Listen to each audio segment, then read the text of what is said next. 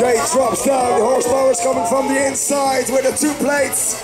Number two of last year's 2013 World Championship in Rotterdam is Ruby Huisman. Headbutt check coming in through on the on the inside. Number 20 right. It's Boyfin. But Huisman, she's a class apart. It's like a walk in the park for this woman. So Huisman, Hetman check, it's Boyfin, and in the fourth slot, it's a 60 right of Makina. Makina looking strong, Manuel Veenstra over and out for this woman. The win is for Huisman, she's proceeding to the main event.